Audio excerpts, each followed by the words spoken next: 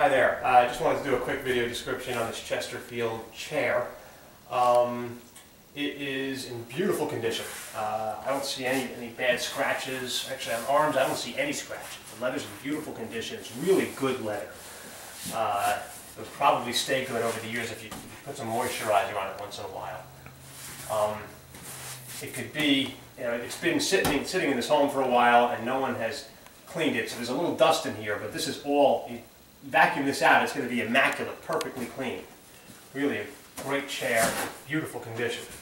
Um, the variations in the color are really just the patina uh, of the leather. It was designed to be that way. Um, let's see, the back of the chair, we had I saw in the pictures there was like this darker area here. It's just the way the finish of the leather came out. This isn't, it's not dirt or anything like that.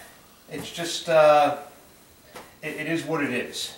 Um, there's a couple scratches down here. They're not scratches, they're just like little white marks. This could probably come off with some steel wool.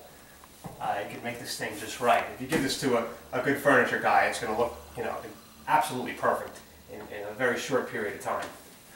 Uh, it seems kind of heavy. Well, uh, only offering this for, we're not going to ship the chair. If you want to come, if you want it, you got to come here and, uh, and pick it up.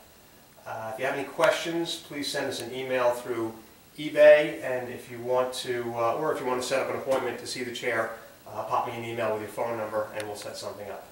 Uh, thanks for looking.